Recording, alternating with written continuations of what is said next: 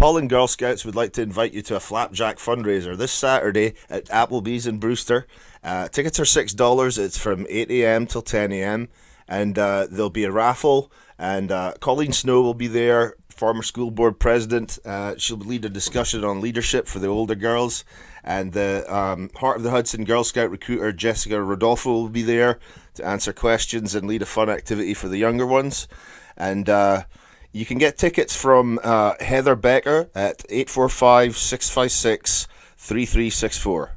And uh, Applebee's is a, a independent Wayne Brewster, and uh, that's from 8 till 10 this Saturday. Tickets are $6. So come join the Girl Scouts for a great flapjack feast.